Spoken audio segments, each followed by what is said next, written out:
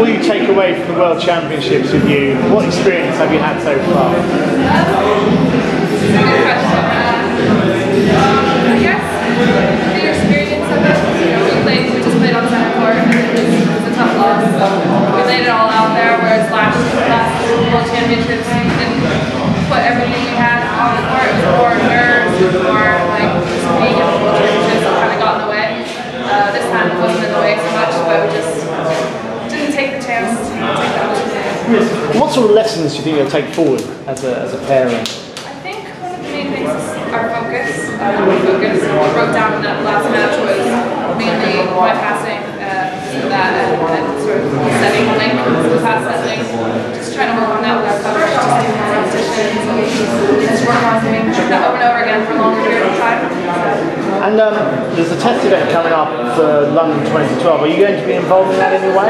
Yeah, I think we're going to be there. I'm not sure yet. But it hasn't been completely decided, but yeah, I think it'd be amazing. An amazing site. I think we've got five courts that's going to be set up there and, and nice little stands that sort of mock where the actual Olympics is going to be. Then going forward to next year, obviously 2012, I imagine you very much hope to be a part of it. How, important and how big a goal is that?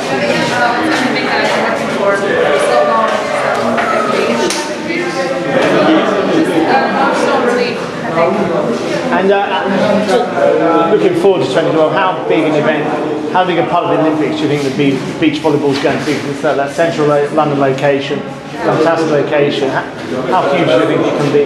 Well, I think a lot of people have been talking about it and they're really excited about beach volleyball. So even though volleyball is of the minority sports and that it's not that popular, people don't actually know too much about the sport.